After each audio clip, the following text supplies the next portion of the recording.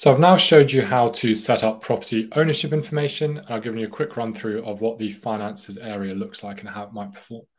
In this video, we're going to act as though we are a landlord and we own the property that we're looking to um, get a financial oversight of. So the same as the others, you click the finances button here in quick access and go down to the finances area here.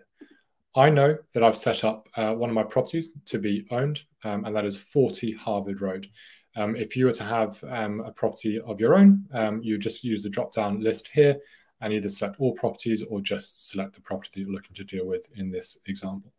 So 40 Harvard Road is an owned property of mine. I'm the landlord, I own it. Um, I don't pay out any management fees. It is something that I handle by myself. So what I want to do um, is I want to look at my PNL for the last um, sort of chosen period. I'm going to select the um, yeah, probably the 1st of January here um, until today. And I'm going to click filter. What that will show me um, is the rent that I've collected in that period. So I've collected £7,150 and 32 pence in rent over that period of time. We split that rent out in terms of our view um, by date um, and then by amount, which is hidden under a, um, a concealed area. We can expand that and see a full breakdown. Um, and that is what adds up to that total of 3,630. And all of that rent um, was from the first of the second 23. So that's your rent. That is income to you as a business. Um, what may have happened during that period is you may have had direct expenses. So you may have had to replace a door. You may have had to, um, you know, incur some marketing costs, etc.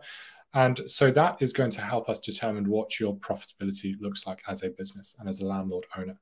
To do that, you need to click this Add Financial button here and then select the property that we're dealing with, which is 40 Harvard Road. And that gives you a few options. Uh, you can add other um, if what you're looking to add doesn't appear here. But in this case, we're going to say um, it was a marketing cost. Um, we're going to say it was photography um, we can put a description here and add any additional notes. So we could say, for example, um, you know, we were looking to, um, you know, republish some photos. We've had the back of the house painted and we've got a photographer around to do that. So you can add those notes in uh, just so that anyone with access to the account can have that oversight as well. Um, it doesn't apply to any specific room, although you can do if you want to. The invoice date was um, the 2nd of February. It defaults to today, but that is the date that the invoice uh, was sent to you by the supplier. You now have two options. You can indicate whether you want to record the supplier or not. If you say no, that would be scenarios uh, such as going out and buying a kettle from Tesco.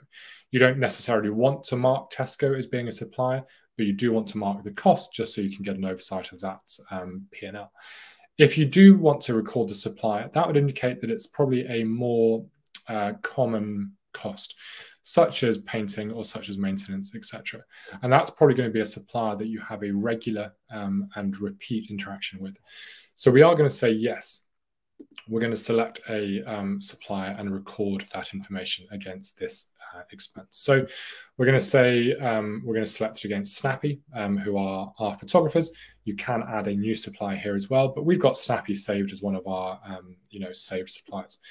So we click Snappy there. Um, we can upload the invoice uh, to this area here. So any invoice they've sent you, you can simply drag and drop into that area here and then mark it as being paid or unpaid. I'm going to say that it was paid. Uh, the total cost was £100 plus VAT. Um, and again, it enters it there. So you'll see now that this will create an expense item of photography for £120, which is £100 plus VAT.